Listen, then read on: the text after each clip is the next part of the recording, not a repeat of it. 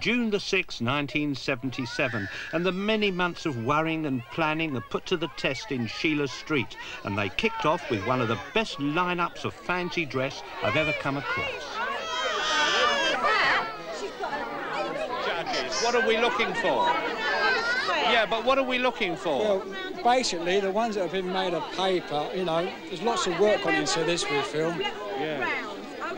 What are you What are you looking for? Originality, I, I, suppose, and also the work that's gone into them, and, and general effect of the whole the whole outfit. And Pretty good, really. Right. Nice to see you, dear. Well, we must have the oldest in the street, mustn't we? Am I the oldest? Well, that's what. You know the oldest. How old are you, darling? I shouldn't Nearly really... 90. We shouldn't really ask a lady her age, should we? But oh, you... Oh, I don't mind. There you are, sweet. I bet you've seen many Jubilees, haven't you? Yes.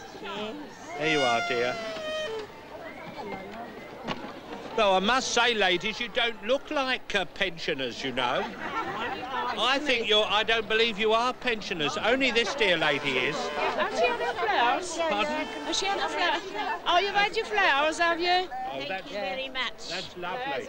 Uh, the last Jubilee, King George V, I was watching the procession up at the top of the road, and she gave her first kick. I tell you that. She, she gave her first kick.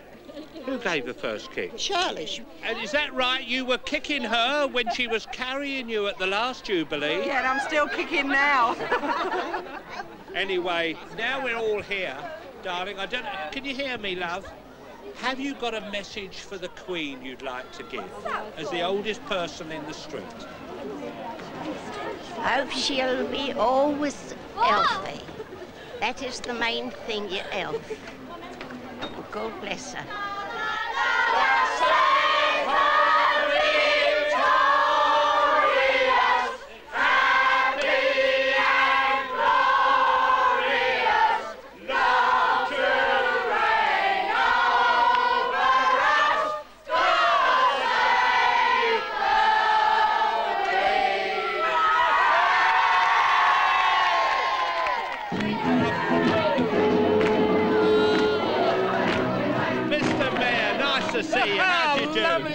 Welcome to the party. What a great party.